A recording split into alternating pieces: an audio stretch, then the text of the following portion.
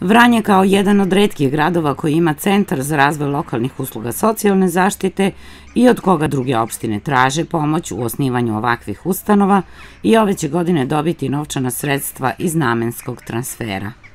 Grad Vranje je dobio taj namenski transfer i to je u iznosu od 9 miliona i 200. Ministarka je potpisala ugovor, ali se očekuje zvanično potpisivanje i negde je predviđeno za 26. maj da će biti zvanično potpisivanje tog ugovora od strane lokalnih samouprava.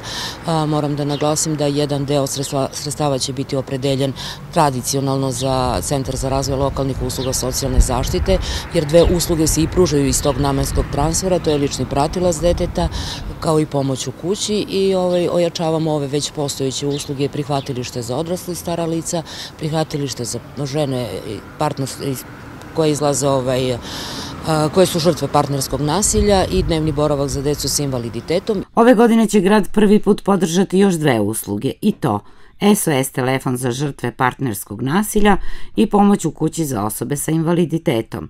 Te dve usluge su licencirane od strane ministarstva. Za one koji budu pružali pomoć osobama sa invaliditetom neophodna je i obuka.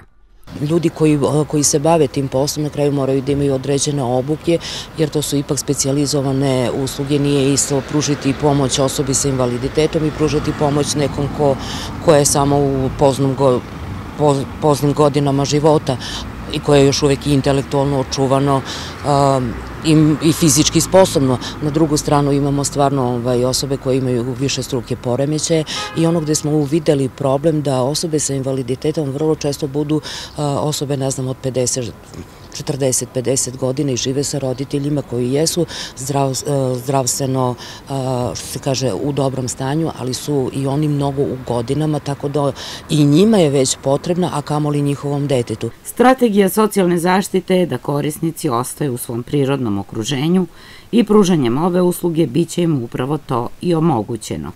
To je usluga koju i u budućnosti treba razvijati, kaže Milosavljevićeva.